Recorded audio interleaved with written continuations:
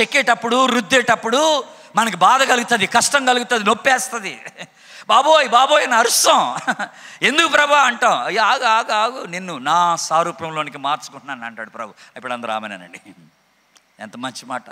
నీకు అట్లాంటి నొప్పి ఏదైనా కలుగుతుందంటే నువ్వు అర్థం చేసుకోవాల్సింది ఏంటంటే ప్రభు నిన్ను సానబట్టో ఆయన ఏదో మరల్చి తన సారూప్యంలోనికి నిన్ను మార్చుకుంటున్నాడని నువ్వు తెలుసుకోవాలి. చాలు చాలు ప్రభా వద్దు ప్రభా అని అనబాక.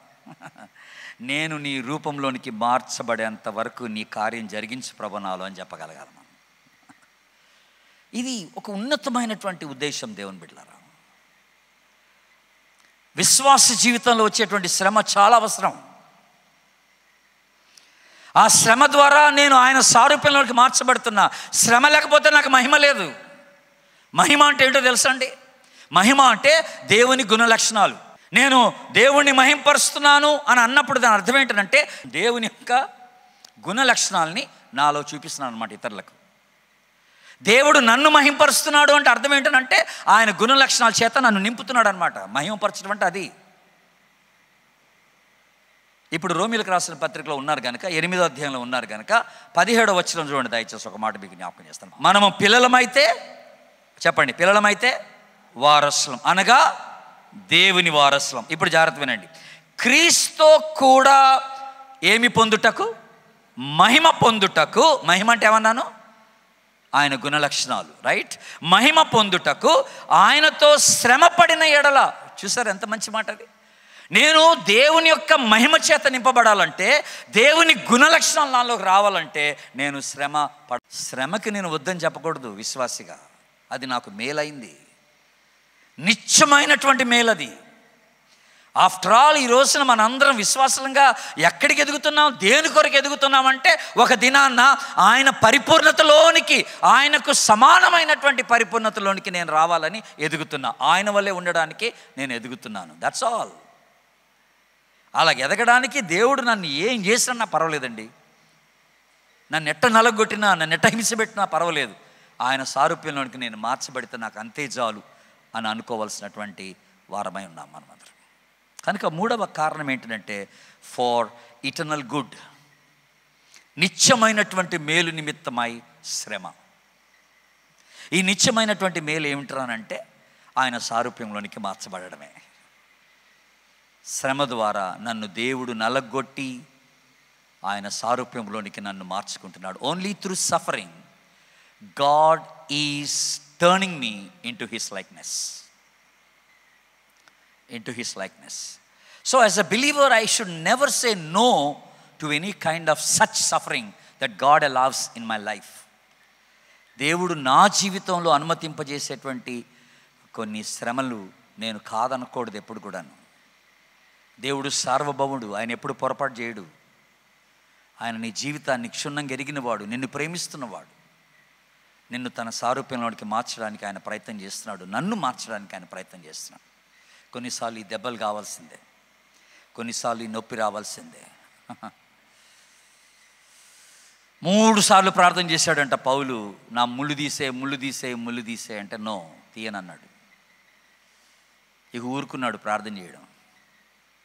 నేను ఎప్పుడు బలహీనుడునో అప్పుడే బలవంతుడను. కొన్నిసార్లు ఇదే మనం మనకు వచ్చిన సమస్య ఏంటంటే ఏదైనా జబురాగానే తీసేయమని ప్రార్థన చేస్తాం. అసలు ఎందుకు వచ్చిందో అడగం ఫస్ట్.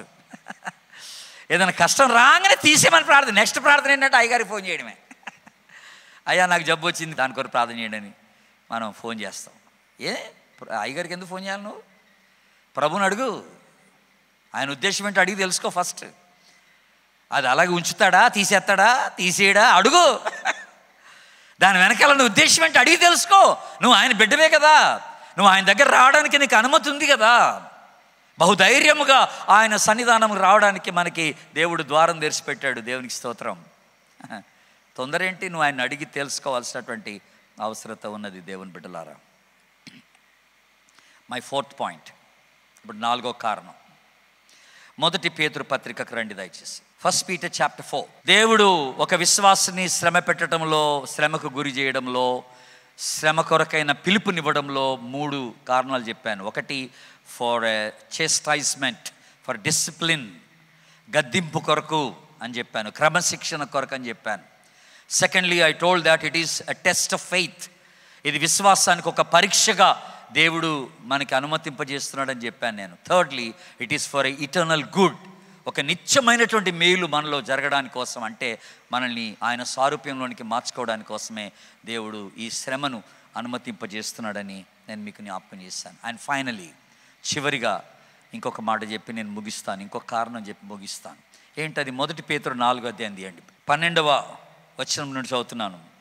ప్రియులారా మిమ్మల్ని శోధించుటకు మీకు కలుగుచున్న అగ్ని వంటి మహాశ్రమను గూర్చి మీకు ఏదో ఒక వింత సంభవించినట్లు ఆశ్చర్యపడకుడి.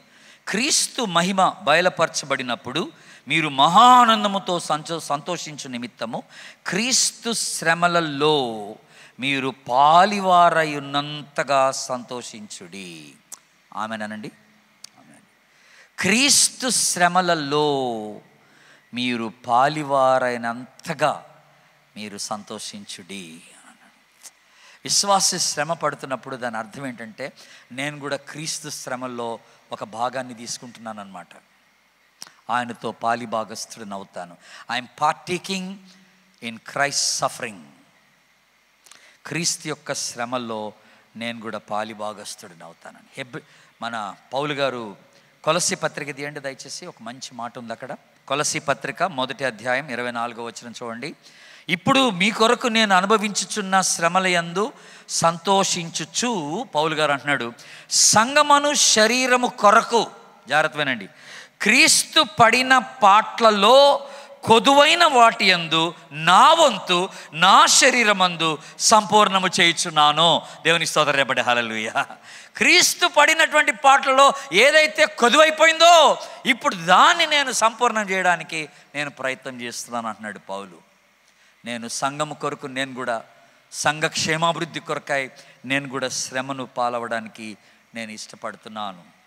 అసలు ఎంత బ్యూటిఫుల్ ఒక మాట పేతురు అన్నాడంటే ఇది మొదటి పేతురు నాలుగు ఒకటిలో క్రీస్తు శరీరమందు శ్రమ పడెను గనుక మీరును అట్టి మనస్సును ఆయుధముగా ధరించుకోండి అన్నాడు.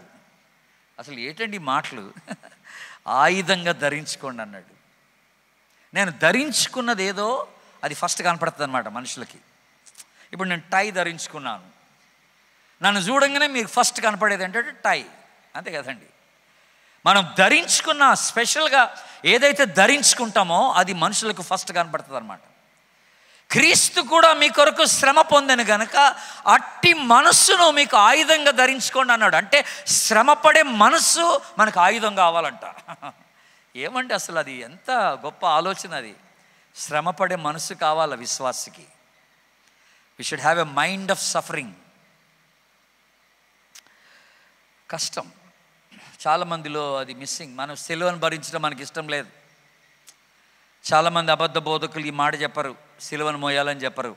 ఎవడైనను నన్ను వెంబడించిన ఎడల వాడు తను తాను ఉపేక్షించుకొని ప్రతిదినం తన సిలువను ఎత్తుకొని నన్ను వెంబడించాలి. ఒక ఆయన యేసుప్రభు దగ్గరికి వచ్చి అన్నాడంట అయ్యా నా సిలువ చాలా బరువుగా ఉంది ఏదైనా లైట్గా ఏదైనా ఉంటే ఇవ్వ అన్నాడట. బరువు తక్కువ అనేది సిలువ ఒకటి ఇమ్మన్నాడట. అంటే యేసుప్రభు నమ్మి నవ్వి సరే పద అన్నాడట. అని ఒక గదిలోకి తీసుకెళ్ళి ఆ గదిలో చాలా సిలువలు ఉన్నాయి నీకు ఇష్టం వచ్చిన సిలువ ఎత్తుకో అన్నాడట. ఇది పడేసి. అప్పుడు వీడికి చాలా సంతోషం వేసింది బాబోయ్ చాలా సిలువలు ఉన్నాయి ప్రభు నాకు ఎంత అవకాశం ఇచ్చాడని చెప్పి ఒక దగ్గరికి వెళ్ళి ఈడి సిలువ పడేసి ఒక దగ్గరికి వెళ్ళి ఆ సెలవుని ఎత్తుకుంటే ఈడు తెచ్చిన దానికన్నా చాలా బరువుగా ఉందంట అది. అవో ఇది వద్దని పక్కన పెట్టేశాడు. ఇంకో సిలువను ఎత్తుకున్నాడు. అది బరువుగా ఉంది. ఇలాగా సిలువలన్నీ టెస్ట్ చేసుకుంటూ పోతా ఉండే లోపల ఫైనల్గా ఒకటి దొరికింది వీడికి సిలువ. అది వీడు తెచ్చిన దానికన్నా లైట్గా ఉందంట. కొంచెం తేలిగ్గా ఉందన్నమాట సిలువ ఆ సిలువను ఎత్తుకొని గబగబ ప్రభు దగ్గరికి వచ్చి ప్రభా నాకు సిలువ దొరికింది చాలా వందనాలు నేను వెళ్తున్నాను ప్రభు నెవ అన్నాడంట ఇందాక నువ్వు తీసుకొచ్చింది ఇదే అన్నాడంట. ఎట్టకేలకు నీకు దొరికేది నీదే నీ సిలువ నువ్వే భరించాలా? ఏ వేరే వాళ్ళ శ్రమలు నీకు రావు. వేరే వాళ్ళతో నువ్వు పోల్చుకోబాక నీకు ఎంత అవసరమో అంతే ప్రభు నిన్ను నిన్ను నేను శ్రమలో పెడతాడు అంతే నువ్వు సహించగలిగిన దానికన్నా ఎక్కువగా దేవుడు నిన్ను శ్రమ పెట్టడు. ఆమెనండి గట్టిగా. అంతే. ప్రభుకు తెలుసు నీకు ఎంత అవసరం. ఎంత నిన్ను శ్రమ పెడితే నువ్వు ఆయన వైపు తిరుగుతావు నువ్వు పాఠాలు నేర్చుకుంటావు నువ్వు ఆయన స్వరూపంలోకి మార్చబడతావు ఆయనకు తెలుసు. అంతే నీకు రప్పిస్తాడు. నాలాగా ఎవ్వరు శ్రమ పొందరు నీలాగా ఇంకోటి శ్రమ పొందడు. ఎవడి సిలవ వాడిదే. ఎవడి శ్రమ వాడిదే ఎవడి కష్టం వాడిదే. నాకే ఎక్కువ ఉంది నాకే ఎక్కువ ఉంది అని అంటాం కొన్నిసార్లు. మనం కాదబ్బాయి ఎప్పుడు నీకు ఎక్కువ ఉండదు ఇంకోటి తక్కువ ఉండదు. ఎవడి పరిణామం చెప్పిన వానికే. దేవుడు ఏర్పాటు చేసి పెడతాడు. మనం ఇందాక చదివిన ఆ నాలుగో అధ్యాయంలో ఒక నాలుగు హెచ్చరికలు ఉన్నాయి మనకి. శ్రమ వచ్చినప్పుడు చేయాల్సిన పనులు. ఆశ్చర్యపడకుడి. ఒకటి మొదటిది. సంతోషించుడి. రెండవది సిగ్గుపడకండి. ఎవడైనా క్రైస్తవుడైనందుకు శ్రమ అనుభవించినడలా సిగ్గుపడక అంటాడు. డి నాట్ బి అషేమ్డ్ ఫైనల్గా ఆయన ఎందు మనం విశ్వాసం ఉంచి ఆయనకు మనల్ని మనం అప్పగించుకోవాలంట పంతొమ్మిదవ వచనంలో. Trust God and submit to him విశ్వాసి శ్రమకు గురవుతున్నప్పుడు ఈ నాలుగు విషయాలు గుర్తుపెట్టుకోవాలా? ఆశ్చర్యపడొద్దు. సంతోషించాలా? ప్రభు నాలో కార్యం చేస్తున్నాడని సిగ్గుపడద్దు. ఎందుకంటే మన పక్కన వాళ్ళందరూ అలాగే మాట్లాడతారు. నువ్వు ఇంతగా ప్రార్థన చేస్తున్నావు నువ్వు దేవుని బిడ్డవి ఉపవాసం ఉంటున్నావు గుడికి వెళ్తున్నావు నీకా? నీకెందుకు ఇది వచ్చింది? అని అంటారు. అప్పుడు నువ్వేమనాలి? మరి నాకే వస్తుంది ఇంకెవరికి వస్తుంది? నేను దేవుని బిడ్డను కనుక అనాలి. అంతే. దేవుడు నన్ను ప్రేమిస్తున్నాడు కనుక నాకే. నువ్వు దేవుని పోతే నీకు వస్తుంది దేవుడు తన మహాకృప చేత నన్ను శ్రమకు గురి చేసి తన సారూప్యంలోనికి మార్చుకుంటున్నాడని ధైర్యంగా నువ్వు సాక్ష్యం చెప్పగలగాల. ఆయనకు మనల్ని మనం సమర్పించుకోవాలా? మన ఆత్మల్ని ఆయనకి సమర్పించుకోవాలి. ఆయన ఎందు విశ్వాసం ఉంచటం మాత్రమే కాదు కానీ ఆయన నిమిత్తమై శ్రమ పడుటయు మనకు అనుగ్రహింపబడెను. ప్రార్థన చేసుకుని తళ్ళు వంచి నీ సేవకుని నిలవబెట్టుకొని నీ వాక్యము ద్వారా మాతో మాట్లాడినందుకు నీకు స్తోత్రాలు చెల్లిస్తూ ఉన్నాం. నీ శ్రమలలో కూడా మేము పాలేపగస్తులమై సిలువలో మేము పాలేపగస్తులమై నిజమైనటువంటి క్రైస్తవ జీవితాన్ని శిష్యరికాన్ని కలిగి ఉండటం ద్వారా నీకు సాక్షులముగా ఉండకు నీ కృపదయించేయం నన్ను వెంబడించువాడు ప్రతి దినము తన సిలువనెత్తుకుని నన్ను వెంబడించాలని తెలియచేశావు నీ యొక్క శిష్యులముగా నీ సాధనాలముగా నీ పాత్రలుగా మమ్మలను చెక్కువాడవు సరిచేయవాడవు నీవై ఉన్నావు. ఇక్కడ కుడి ఉన్నటువంటి ప్రతి ఒక్కరిని ప్రత్యేకముగా దీవించు. నీకు సమర్పణ చేసుకొని మిషనరీస్గా ఈ సవార్థిక కార్యములో పాలేభాగస్తులైనటువంటి వారిని ప్రత్యేకముగా దీవించుము. దేవాని సన్నిధి చేత నీవు బలపరచుము. అలాగే ప్రతి ఒక్కరము కూడా దేవుని యొక్క వాక్యము మేము పొందిన వారమై నీకు సమర్పణ చేయబడి ఆత్మల రక్షణార్థమై మా వంతు మేము నీ పరిచర్యలో పాలిభాగస్థలం కావాలనేటటువంటి ఆ సమర్పణ ప్రతి ఒక్కరికి అనుగ్రహించమని. గుడి వచ్చిన ప్రతి ఒక్కరిని దీవించుము. ఈ కార్యాన్ని జరిగిస్తున్నటువంటి నీ బిడ్డలందరినీ కూడా నీవు ఆస్వాదించము. వాక్య పరిచర్య చేసినటువంటి నీ దాసుని మరింతగా బలపరిచి నీవు వాడుకొనము సమస్త మహిమ ఘనత ప్రభావాలకి చెల్లిస్తూ మా ప్రభువును రక్షకుడనే సుక్రీస్తరా వేడుకొనుచున్నాము తండ్రి. ఆమె పరలోకమందన మా తండ్రి ఎనమం పరిశుద్ధపరచబడగాక రాజ్యమవచ్చునగాక నీ చిత్తం పరలోకమందు నెరవేర్చినట్లు భూమి ఎందును నెరవేరినగాక. మానందనాహారం నేడు మాకు దయచేయము. మడల అపరాధం చేసిన వారిని మేము క్షమించిన ప్రకారం మా అపరాధం క్షమించము మమ్మల్ని శోధనలను తెక దుష్టులను తప్పించుము. ఎందుకనగా రాజ్యము శక్తి మహిమ నిరంతరం నీవై ఉన్నవి ఆమెన్.